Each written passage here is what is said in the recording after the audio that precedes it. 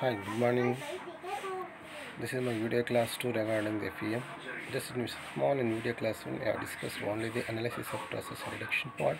In this video class, we'll go to discuss on the problems which are pertaining to trusses. So just just to observe the figure 1 here.